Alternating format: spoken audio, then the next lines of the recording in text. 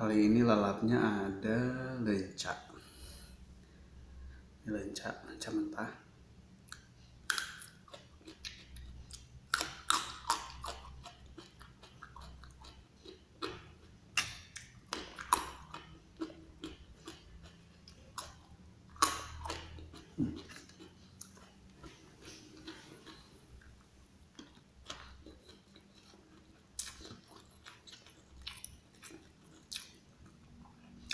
Ini takokak. Takokak sama ditumis pakai tempe.